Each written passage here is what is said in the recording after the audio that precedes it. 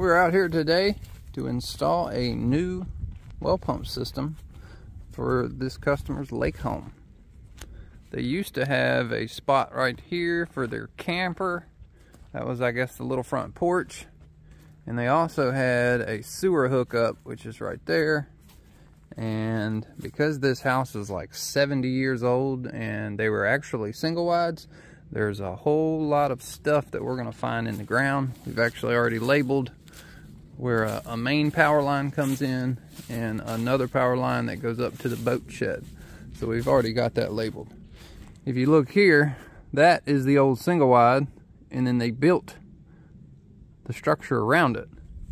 They did the same thing here on this one. This is the old single wide and they built the structure around it. That was the way they were able to get around the laws way back when when they didn't want you uh, building a home bigger than a specific square footage on a really really small lot. These lots are probably on about 120 foot wide and like 300 feet long. So they're only about a third of an acre. So there's not much here to work with but we're gonna go ahead and uh, and get started and cross our fingers and hope to God that we don't hit anything unexpected in the ground.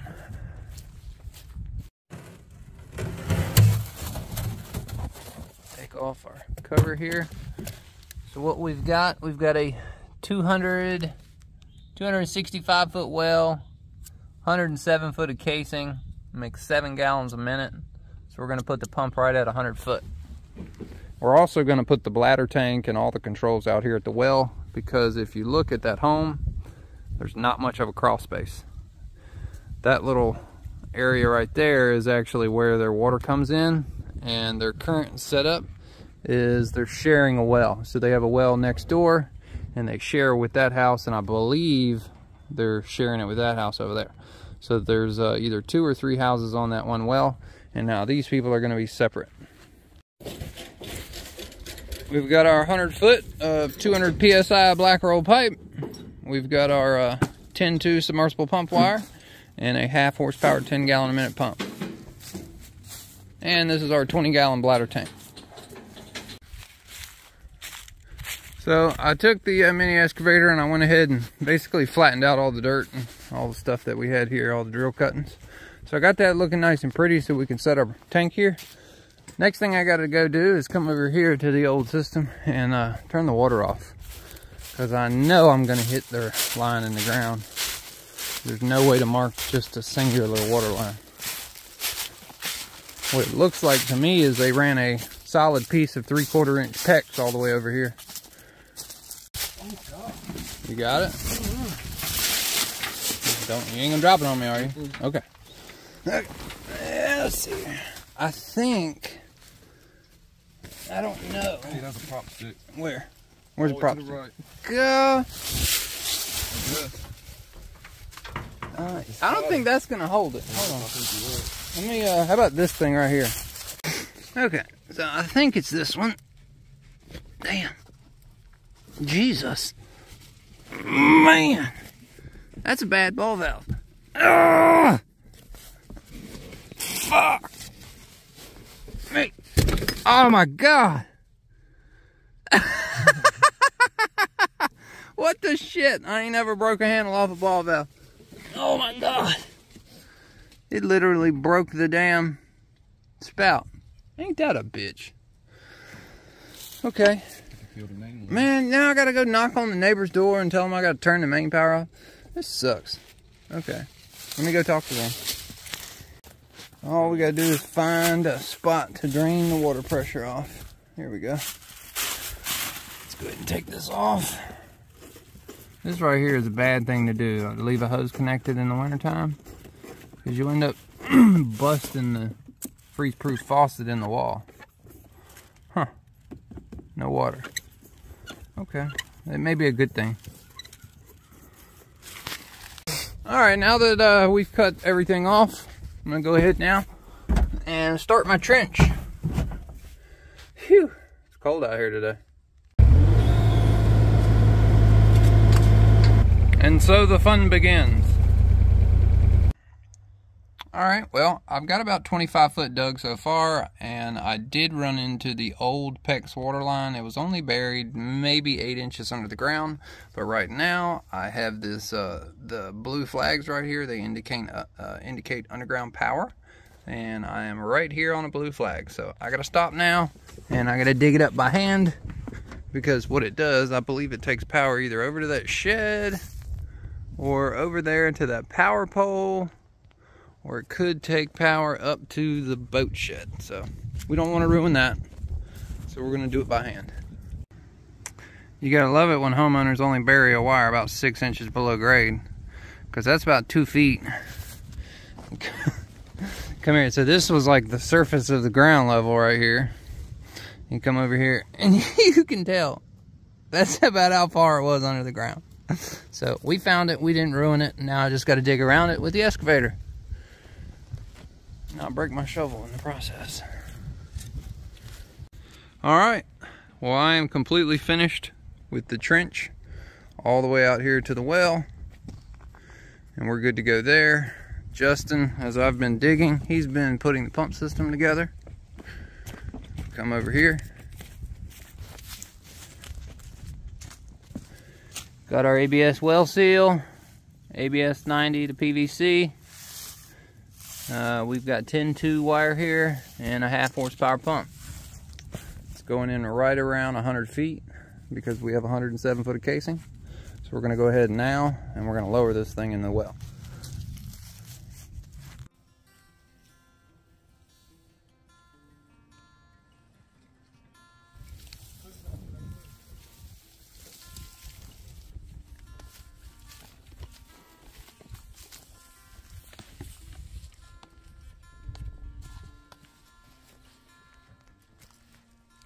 Good to go.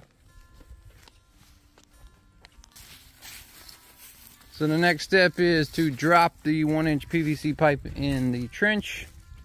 And we got to make sure that we go underneath the wire that's over there. And then somewhere up here we have to finagle it and connect it to the PEX pipe that feeds this house. So uh, the homeowner showed up about 30 minutes ago and I basically I noticed this cast iron drain pipe and I just couldn't understand it because the the angle that it was sitting at I was like so worried that there was an old septic tank out here somewhere that we didn't know about.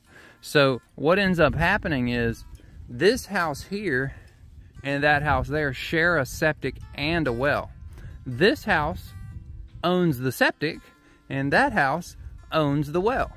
So now this house has its own well and the other house still is using this house's septic system. So that's the way that it was written up in their deed and their land plot and all that when they bought the house. They said they've owned it since like 1967 or something like that. So they were, I believe, probably the original owners of the trailer. If not, they bought the trailer from the original owner and then they did all the conversion to make it into what you see here.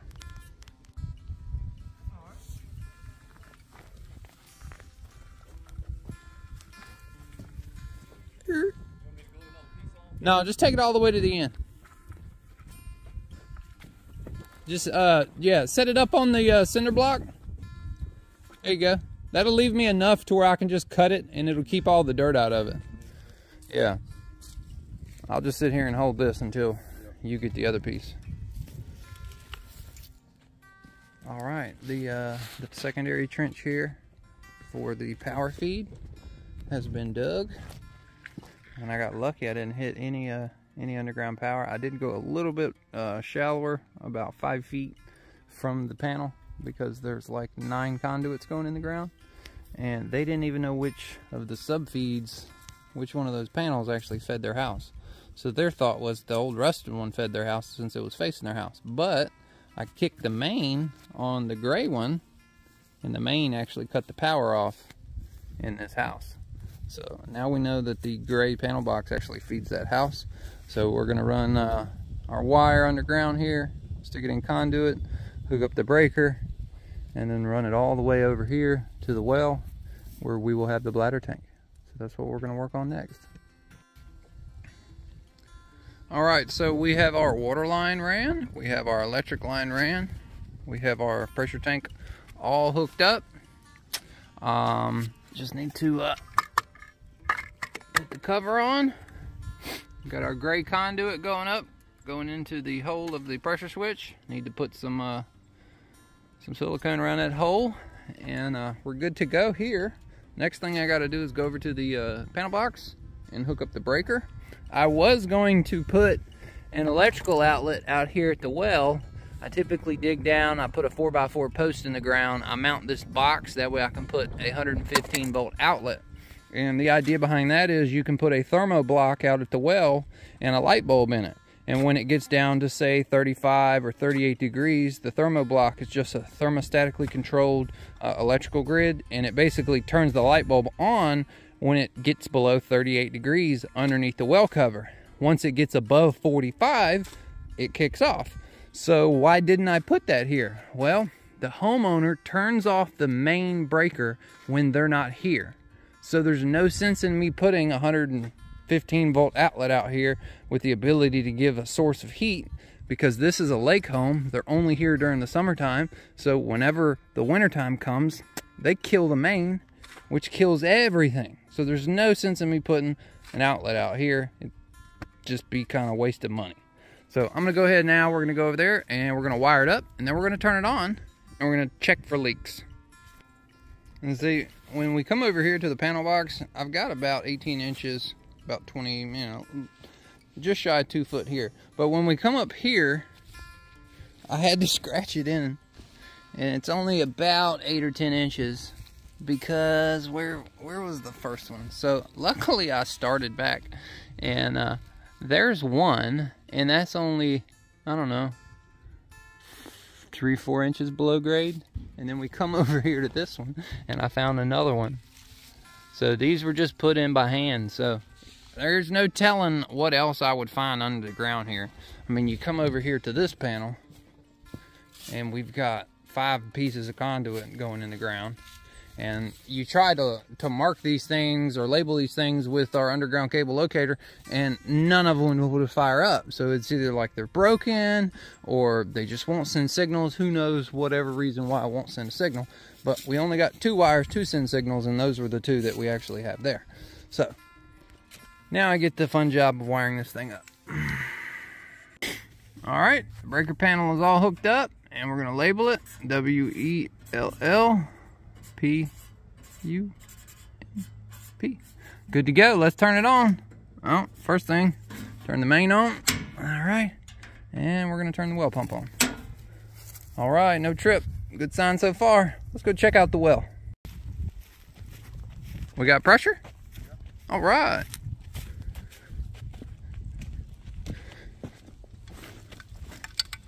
Let's go ahead and bleed out the air.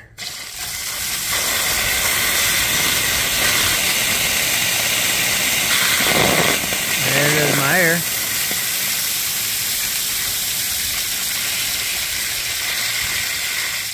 Okay, let me do this. Cut that off. All right. Good to go. Good to go. All right. All to do now is cover it up. So what he's doing now, he's going to turn the power off and we're going to leave the valve on but drain the tank dry. That way, that way the tank is dry and empty. We'll drain out all the water pressure. We won't have to worry about any of this freezing. And then once it's done, I'll turn the valve off. And then when the homeowner gets here in the summertime, the only thing they're gonna have to do is turn the breaker on. So once that stops dribbling out water, I'll go ahead and cut it off. And now they'll be good to go. So we pressure checked it. The house was fine. I didn't want to go ahead and fill up the toilets or anything like that because then the house would have to be re-winterized. But all that up there that I connected to is good to go. This is good to go. All we got to do now, cover it up, put the well cover on it, and get our ass out of here.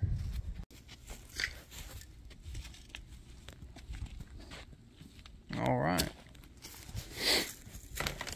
It's all covered up and smoothed up. I tried to take all the grit that was out here, kind of in their driveway, and back drag it. Try to clean it up as best I could. And then that area I left it a little high because I know it's gonna settle. I packed all this stuff down and Justin's gonna put the cover on the well right now. Oh, you know what we need to do? What? We need to put Sure caulk on the uh, Yep. on the thing before we cover that up.